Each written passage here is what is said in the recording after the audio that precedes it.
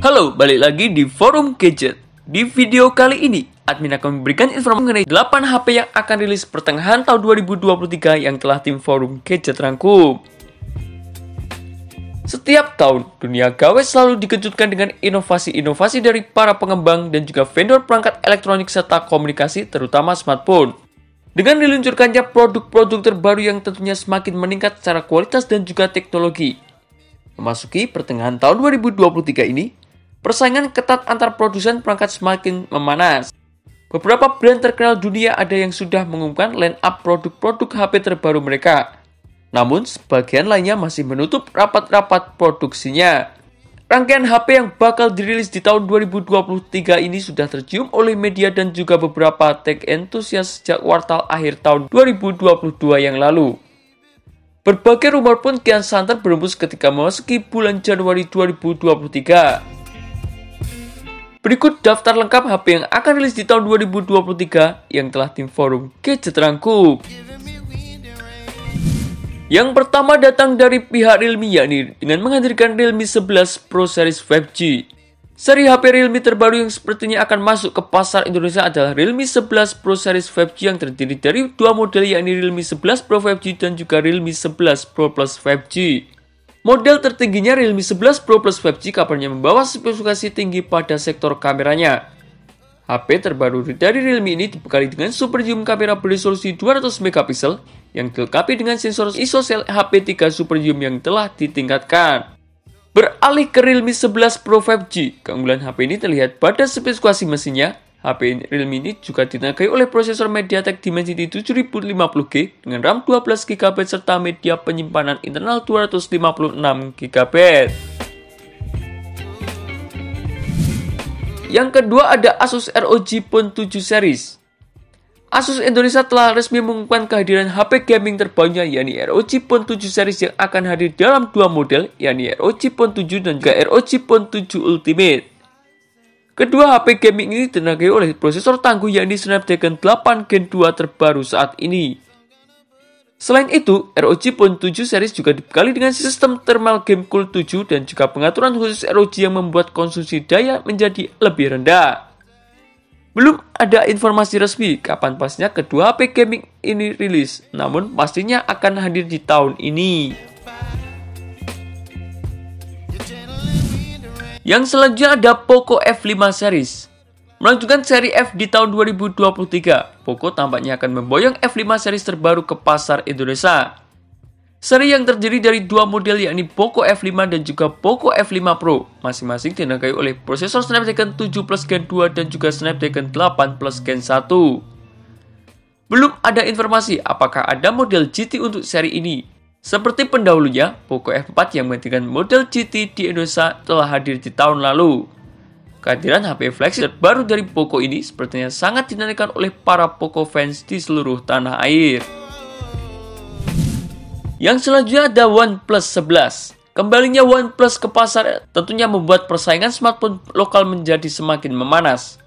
Pada acara relaunching di Jakarta beberapa waktu yang lalu, pihak OnePlus menjanjikan akan segera merilis perangkat HP terbarunya di pasar Indonesia. Banyak pemerhati teknologi tanah air yang mengharapkan OnePlus 11 series dirilis di Indonesia. Namun, ada kemungkinan OnePlus akan menyasar pasar entry dan juga mid entry level.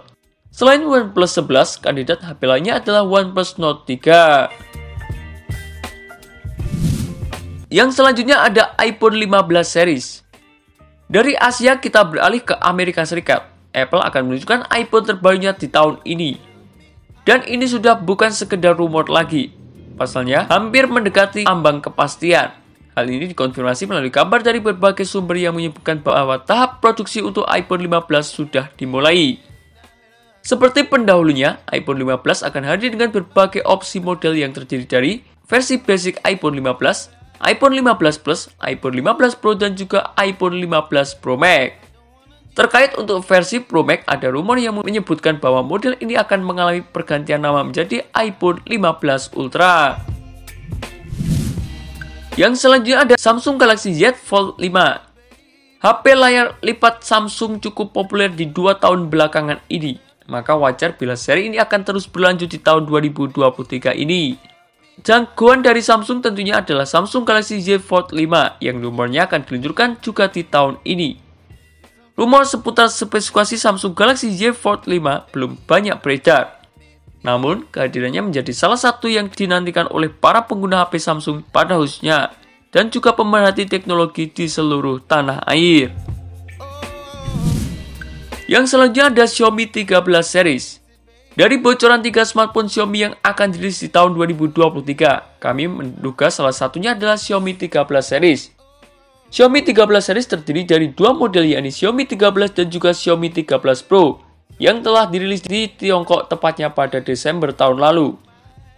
Spesifikasi Xiaomi 13 series sangat gahar mulai dari prosesor Snapdragon 8 Plus Gen 2, kamera utama beresolusi 50 megapiksel, Kapasitas RAM hingga 12 GB untuk model tertingginya hingga teknologi pengisian daya cepat hingga 120 watt.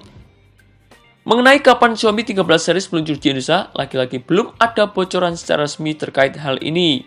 Namun sepertinya tidak akan lama alias biasa meluncur di kuartal pertama atau kedua di tahun 2023 ini.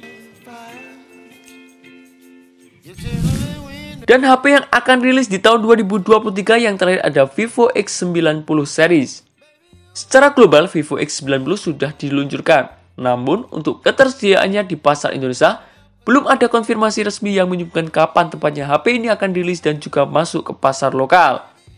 Banyak orang meyakini kalau tahun ini akan menjadi debut Vivo X90 di Indonesia. Beberapa keunggulan yang ditawarkan oleh Vivo X90 di antaranya adalah kamera dan juga prosesor. Seperti pendahulunya, model yang diharapkan akan hadir di Indonesia adalah Vivo X90 dan juga Vivo X90 Pro. Dan itulah beberapa informasi mengenai 8 HP yang akan rilis di pertengahan tahun 2023 ini.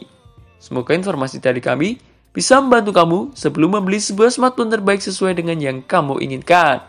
Dan terima kasih telah menonton video ini. Jangan lupa like, komen, dan share agar channel ini bisa terus berkembang.